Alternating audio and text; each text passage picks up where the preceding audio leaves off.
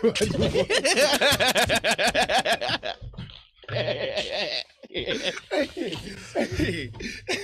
yo, hey yo. From two hundred to like four thousand, like quick. Is ridiculous. I don't even. I'm just taking it all in. Honestly, I just been enjoying performing for everybody. It's been fun.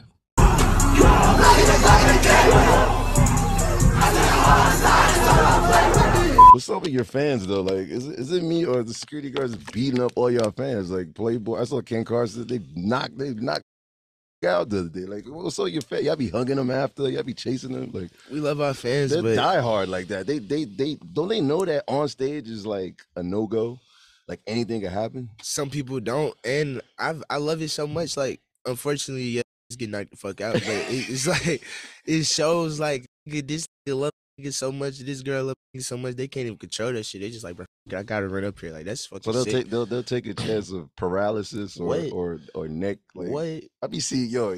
You guys have the most beat down on, fuck, especially like It's Carti's. all love, though. Carti's artist be getting wrecked, yo. He be out there hugging him. He picked up one time, took him to mm-hmm. the back. Like I was like, oh, yeah, these fans are crazy, man. They that they that die hard, huh? They're They crazy. the best though. Bust down my neck, bust down my wrist, bust down my bitch, bust down my bitch.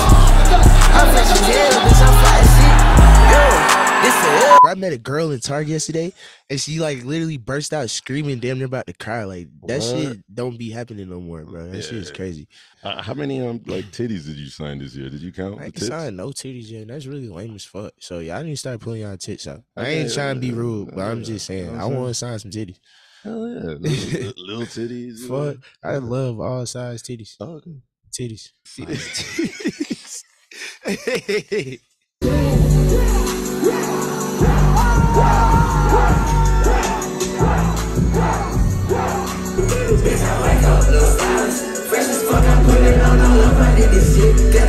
Rich Montana's not looking for you. Like you know, you, you gotta hit. record, I'm man. Don't Mr. No Stylist. Stylish. Uh, I ain't never even.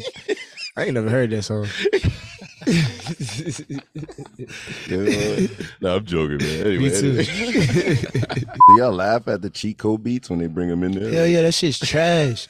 Bro, I've had like when the A and R try to play you a beat, they like, oh, this was going right now. You need to get on this. This is why it's hot. No, bro. That never worked. Never ever got on a Oh, single word? one of those. Never bro. works, huh? Mm-mm. Bad work. I think it's a better look if you take like risks on something totally different and you just be in that box on your own. You're right, but you also got artists who Hmm. probably not as versatile. Oh, So it's like for you to be taking a risk.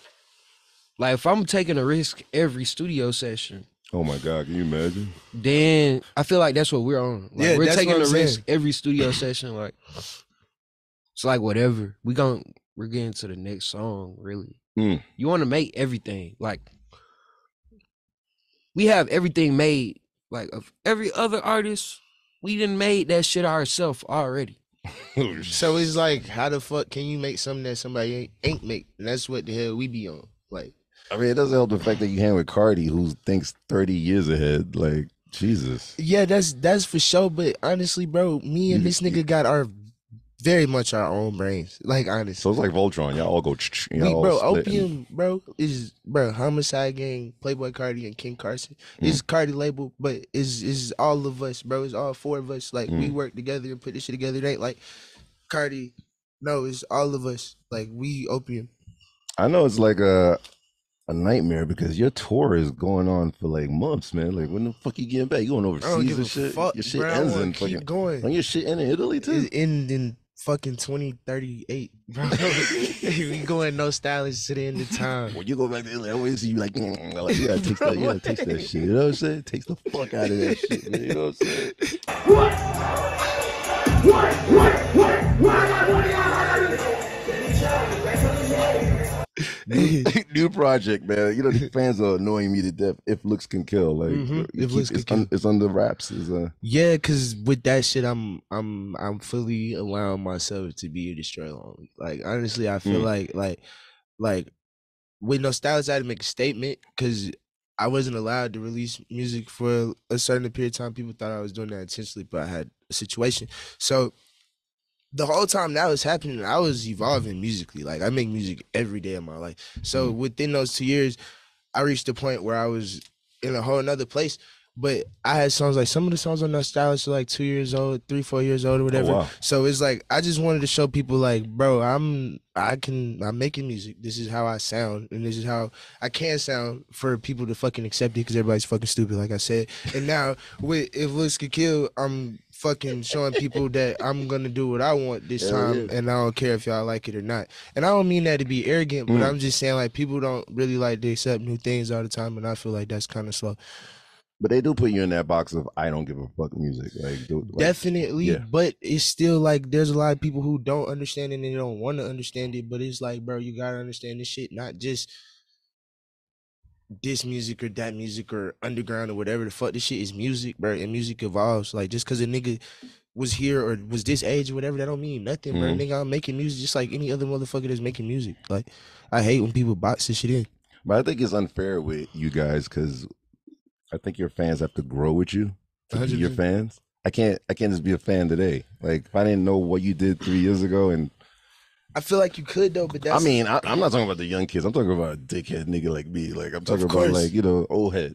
But that's that's the problem, and that's Yeah. what we Thank trying you. to change. Cause it's like, bro, like Well, not me. I know y'all. Not shit. you- Yeah, nah, I'm not talking- talking I'm, about I'm talking about. kid- I'm talking about the other old the niggas. average thirty year old nigga who looking at this shit like, what the fuck is these niggas Mhm. doing? That's some closed minded, ignorant shit, bro. Like, cause when niggas was popping out doing kid and play, whatever the fuck weird ass shit was going on, niggas was fucking with that shit, bro. So it's like, like I was- what, I was That was, like- that was okay shit. that shit was Yeah, dumb as fuck. Yeah, Niggas was was. fucking Yeah, that with. So it's like you gotta fuck with this or don't fuck with it. But this the new shit and this was going on, bro. Like Mm. it's 2022. It's ten years. This shit. Uh, uh. Maybe we might. We I don't know. But we here right now. So niggas gotta fuck with this shit. I need the one on one how you were like chosen. Like how did they pick you? Was it like a like some kind of ceremony or some shit? Like I feel like it's just. You know what I'm saying? Like the Avatar, every couple years, somebody got to come do this shit. Oh fuck out it. So it's the transition of hip hop. Yeah, it's my turn. It's me and my gang turn. It's our Okay. turn. A lot of hard work. I've seen you over the years, like Rolling Louds and small fucking shows and Yeah. here and there, free shit. A whole bunch of free shit for sure. All paid Shit off. huh? costs now. So uh, on one of your songs, you say you see money and uh, you can't count it because it's coming too fast. You- uh, I mean, how much money you got now? man? You gotta let all the bitches though. Let these hoes I'm right getting, now. I ain't, I ain't getting no money. I ain't getting no money, bro. No doubt. I ain't gonna lie. I don't, you know, but how, how was the, the the choosing process? Like, you know, is there a choosing process to get down with Playboi or? Man, nah, bro. It ain't none of that, bro. It's Yeah. just, it's just all real, bro. Like I'm real, my gang real. So what they be saying, real, recognize real. I feel like you, Yeat, all these other guys. I don't. Do y'all give a fuck about these people out here? You fuck. You give a fuck I- about regular people. I give a fuck about life. Oh, okay. And I definitely give a fuck about rap music and shit. Cause mm. shit, I'm a rapper. But it's like, I don't know, do my own thing, bro. I feel like it's times like where shit gotta be pushed forward. People gotta push shit forward. We push shit forward. I'm pushing shit forward. That's all I'm here for. I I respect everything before, but shit, we can mm. do some new shit too. But the fact that you you you jumped in a pool of being ahead of the game, like ten years ahead. Your tracks are like. I feel like I'm in fucking Pulp Fiction and ain't Mission Impossible. lie. Like the beats are like I'm in a movie. Like I've been doing this shit for going on like ten years, bro. So it's like it ain't really like no. I so just there wasn't thought. There was no thought process like that. Nah, I kind of knew I had a plan for this shit when I started doing this shit, and I'm just acting on my plan. Honestly, personally, me, I look at life like my life good. I'm I'm straight. I I'm the top floor boss. Looking at society though, if I'm being completely honest, I think everybody's fucking stupid. So it's like I just live in my own world because uh, shit should be working for me. I mean, when you guys get together and y'all create music, do y'all talk like this is just fucked up? This war is like fucked up president. We talk about everything, but it's like people dying and all kinds of shit. Like bro, it's like, bro, it's like mm, that shit's going on, and I still got life to live as well. Mm. And the only way I could even try to change any of that is just by using my voice, and I rap about whatever the hell I be rapping about. Sometimes when I make music or when we making music or whatever, I might talk about a piece or whatever, but honestly, I don't think that's what I'm here for. So that's not. I'm, I, I mean, uh, randomly, you used to look up to like a lot of punk bands and stuff. yeah, Like, where did that come about? Like, you're in Atlanta. Like, bruh, I spent a lot of time on the you're internet. young. like, I was you're outside child. as well, but it's Yeah. like bruh, I got hella influences. Like I watch movies, I listen to music. I don't let my like I'm not a closed minded person. Like and my grandparents and my parents definitely was letting, letting me do a whole bunch of shit and be influenced by a bunch of shit in the best way, not in the crazy way. So it's like with that shit, with the rock music and shit, it's just like I kind of was just searching for shit that resonated with me and I, I ended up liking that shit. Uh, Sex Pistols and Yeah. you even named one of the joints Crystal Castles. Crystal. Castles, The Cure, a whole bunch of random ass bands. I just like music, honestly. Deftones. You sampled them. Like, Yeah. How do you clear all that shit? Like, you, We got it clear. It's me. like it's literally me, bro. Wow, that's crazy. But you don't even remember when the Callus when I mean, who put you on that shit? Was it somebody that put you on the music? no, I put bro everything. Honestly, everything ever in my life, I put myself on too, or I was inspired by like my friends. Like I got people like this nigga next to me, and like people who we all think like on the same like wavelength. So we Mm. inspire each other and put each other on the shit. But honestly, nah, I popped out this shit with my own brain. Ain't nobody really showed me too much. I, Yes, I said earlier, Travis Scott was like got me into all that transitioning. There's like four beats in one. And it's just like I don't know. Like when I first started making music, I was just like, shit, I'm trying to make this shit as different as possible. But like not on some like I'm gonna be the most different nigga, but I want to make sure that I'm making music in the way I want to make it because I see it like art. So I ain't really like following like the rules of rap or the rules of whatever to make my hmm. music. I'm making whatever the fuck I want to make when I want to make it. yo, man, I, I- I just want to be in the studio just once just to see how you guys put shit together. It's What- kinda what- what- crazy. What's the process? Is it weed first, or is it like is it like weed everywhere and, I ain't even and gonna I water and shit? What do you be guys feeling doing? like yeah, we got water. We do drink a lot Oh, of yeah, water. y'all look like some water ass niggas. here, You know But I'm I feel like it's um it's us first, bro. Like we just so like I feel like me and my gang, we are superheroes. So when we pull up on each other, it's all we got our own energies and powers and shit that we bring to the table. So we just be bouncing off each other. Like nigga just be like, let's make a song. We make a song. We uh I don't know how we be on the same page. We just all together. And I'm not saying this in an ignorant way, but we ain't trying to think too deep about it. Like we're making music with a purpose and we're doing this shit with a purpose, but we just having fun, bro. Mhm. Like the first part of this shit is having fun. I feel like hundred percent. So we ain't worried about how niggas gonna perceive it. We ain't worried about fans talking about we want this song, whatever. We ain't, we don't give a fuck about none of that shit. We doing whatever the fuck we want to do. You toured uh, first with Play, and now you you, you just did uh, Ken Carson. I mean, what did you get from like that and to create your your set or your I learned how to do this shit from my brothers. easy, huh? Hell yeah, I feel like if I didn't do that shit, I would not be performing how I'm performing now. Hundred percent. I was, bro, when I was on the King Vamp tour, I was scared shitless. This nigga tell you, and I was only doing one song, and I was Nah. scared out of my mind. So it was like I had to do You that was type scared, of yo. You was, you was nah. shit. oh god. like that shit is crazy. So I definitely had to go through that, and I appreciate them for letting me do that with them. Yo, RIP Virgil man. Yeah, you're so heavy in fashion, man. What, what do you got on today? What you got on today? Um, Put a I nigga feel like on. if I tell y'all what I got on today, it might be a little controversial. But shit, I got on some black shit. For real. I got on black clothes. oh, okay. Yeah. All black Yeah, yeah, let's stay out of that. Yeah, let's stay out of that. Um, dealing with Virgil. You never met Virgil before? I never met Virgil. I wish I got the chance to. I think he's fucking sick, but nah, I never got to meet him. Uh, you were recently uh, the Alyx. You, you you walked on there. How was that? Yeah, that was fire. That's my first time ever walking the runway. I honestly love fashion way more than I love music. So it's like that was the best shit that ever happened to me. And I You know Matthew? of You- you know? Matthew very well. That's, Okay. of that's a very close friend of mine. I got my merch right now is is uh, Elites collab, and we about to release it on the internet too. But like, I'm definitely like destroy lonely Elites. That's what I'm selling on my tour. Wow, man. So yeah, that shit's getting big. But I I'm trying to get into fashion for real, like like real like model status and just like really taking that shit over, building my own fashion house and shit. was that the first time you were in Milan? Yeah, hell yeah. How was it over there? Al dente. That was spaghetti? sick. I love it. I like risotto. Oh, okay. Yeah, that shit's fire. Isn't that weird? They be chopping that shit up. That's just like little bits and shit. Like alright sauce though. and all that, I little like butter. it. It's player. It's Yeah? cool. Did you go "Mm," like when you Nah, tasted it? me, I'm on everything. He know that. Yeah. Like, I'm wait. I'm eating all of it. Give me that. I don't give a fuck if it's weird. What? That's a bug. Yeah, let go. Yo, yo, kid, you, yo, yo, kid, you were, yo, kid, you were there. You were there in Italy too. You were there. Okay. We wasn't there together, but he went to. Oh, okay. So how was it? Like when you taste the the salt, the saltiness of it. My, mine was in London. Oh yeah, talk talking to Mike real quick since you here. I mean- Mine was in London, so it was Oh. like it was like kind of different. Oh. London food, I feel like everything is diet or something. But they don't. When you leave America, let me tell, let me give everybody a, a, a what you call it, a motherfucking let's say like a warning. Like when you leave this motherfucking country, you want to leave this motherfucking country so bad, bro. You leave this country, bro. Food gonna taste like shit, bro. I like it. It's just they not allowed Ass, to put bruh. the same I'm not shit gonna in lie to shit. he love all food. I don't, bro. I don't care, bro. You can put anything on his plate, bro. He gonna eat it, bro. For real. So uh, I mean, what's what's the weirdest shit you be eating? Like frog legs and shit like that. Definitely have eaten frog legs, Yeah, yeah. alligator, octopus, you can squid. name it. He know- he I'm ate it. eating it, bro. Oh god, God damn, frog legs though. Like Frog you actually That's not that like- bad. That's not that bad, but I don't like them that much either.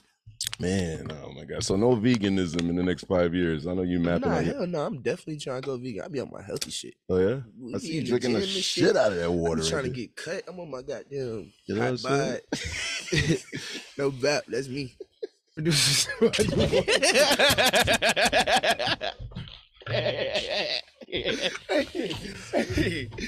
Hey yo.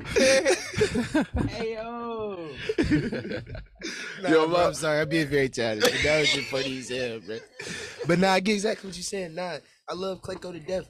But I mean, he did give you your first hit, I think, right? nah, that was for me, for Okay. on Bang. But that's what I'm saying. It ain't like no, he gave me nothing, bro. I curate all my music my fucking Okay. self. I'm a producer. I just don't know how to make fucking beats. But every beat that I've ever sampled, everything I've ever did, I've done that. I tell Clayco to make the beat, and we work together and do it. I pick the sounds, Oh, okay. whatever. So it's like we a team. Me and Clayco, like we a band. I like to say, Hmm. but it's like we. This is like a a machine together. Like I got my own set of producers we call Underworld, but I created the sound out of my brain, and they just can put it on the computer for me. Oh, okay. So you just come in there with the ideas. And Yeah. They just like do it fresh, like right in front of everybody. Exactly. Like Clayco sit right behind me. I rap like the engineer probably like right here. I'm sitting right next to the engineer rapping in the booth. Clayco sitting right behind me making the beat. I turn around.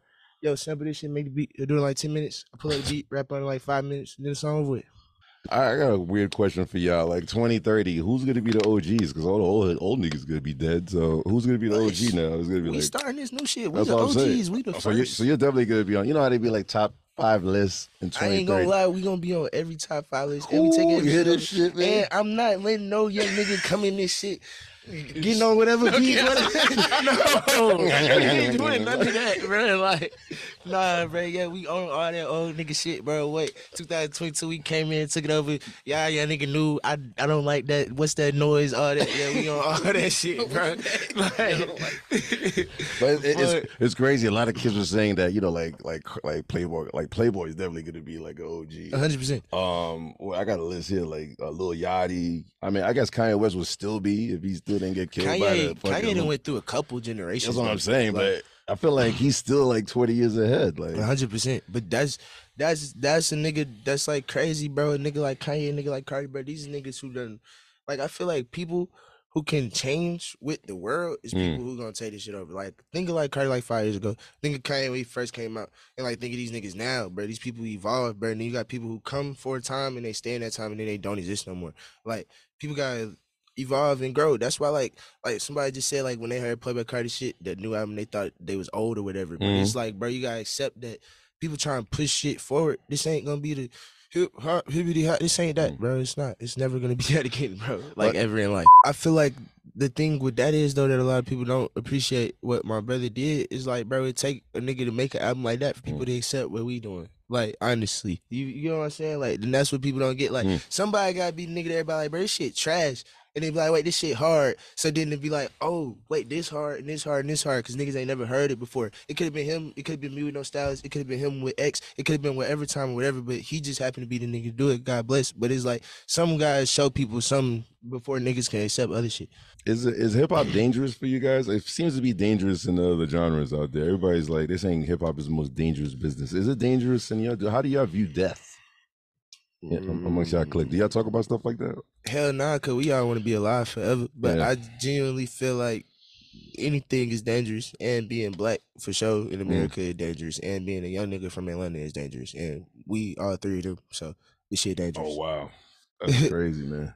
Was take was was takeoff like a, a big influence to you, or or I fuck with Take, Yeah. but it's just, bro. Every time shit like that happen, bro, I just be like, damn, bro. Like, fucked up? Yeah.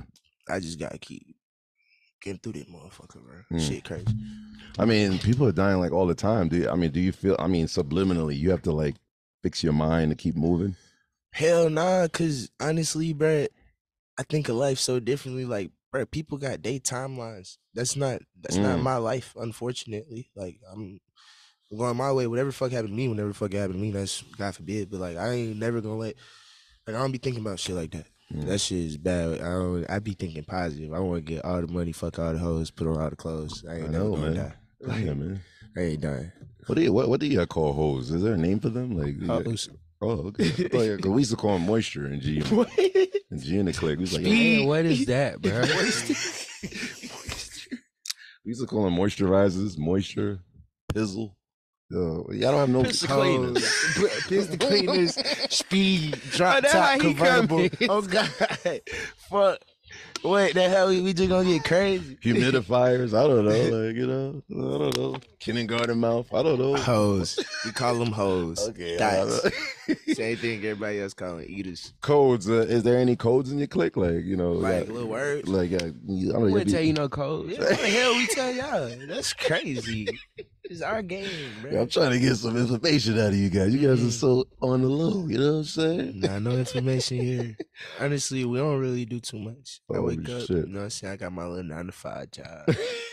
Put on my black tie, drive my Well- little car to work, and go back home and go to sleep. Speaking of nine to five, TikTok was running your Bane song like non Fuck TikTok. fucking stop, man. They blew that shit like to the fucking I do appreciate that.